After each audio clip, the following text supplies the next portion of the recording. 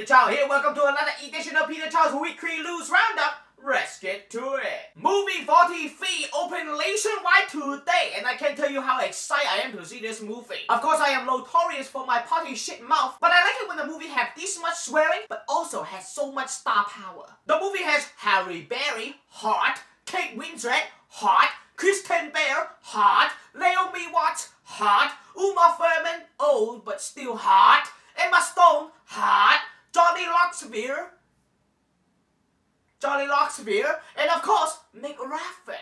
Of course, you can see for yourself and join the fun and check out the trailer by clicking the annotation right there. In other news, Rance Armstrong turned down the chance to be on Dancing with the Stars, to which the other cast members let out a huge sigh of relief when they weren't gonna have to dance their feet off to compete with a raging steroid junkie. Studio executives were also happy that they didn't have to change the name of the show to Dancing with the Dope Addicts. It's a tie for this week's video of the week. You guys have two choices. Judd Apatow's wife praying with Megan Fox's boobs, Oh, I would put floodlights on them. I mean, they've. sorry. Sorry. Kate Upton being Kate Upton.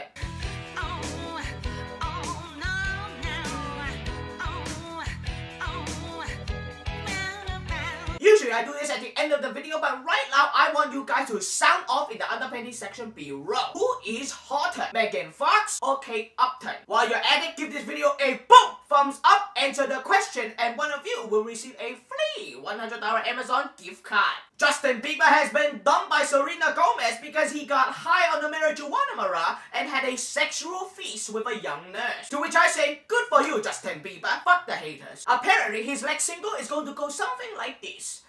All I need is a less pussy to feast to make my life complete. Of the is Mimi Jensen, a nursing student who he took back to his house last month and went dirty on her downstairs. A source revealed that Justin told her, I want to know if you taste good, which is I guess how the beats talk dirty, because that's what I say to my fly lights before a hearty, but naughty mirror. Anyway, he started to kiss her entire body without taking his own clothes off, keeping in mind that she's completely naked at this point. And after a little bit, the nurse just got a little bit freaked out and just left.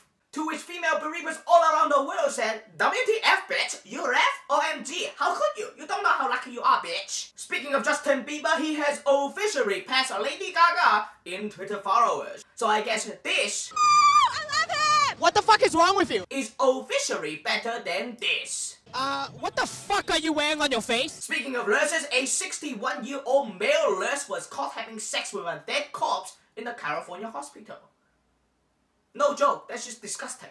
Marvel Studios want both Jim Carrey and Adam Sandler to provide their voices for a new animation project about raccoons. I guess Marvel wants to spend a bajillion dollars on raccoons that sound like Jim Carrey and Adam Sandler. Apple will launch two new iPhones in 2013. One with several new color options, to which the 12-year-old girls and all of us said, Are you serious? New colors? Yay! And a second cheaper iPhone for the Jews. And of course, rounding out the news is Tampon Girl. You know, the wet ass bitch who pulled a used tampon out of her vagina and then put it in her mouth. Is it fake or is it not fake? I say it's not fake because everybody in the world knows that there aren't any blood clots in cranberry juice. Well, that's it for this week's Weekly News Roundup. I hope you enjoyed the show. And as always, remember, like this video, subscribe to my channel. I post new videos every Wednesday and Friday, which means I will see you right back here on Wednesday. Until then, stop drinking the haterade and start drinking the tea. Ciao, motherfucker. If you were my mother, bitch.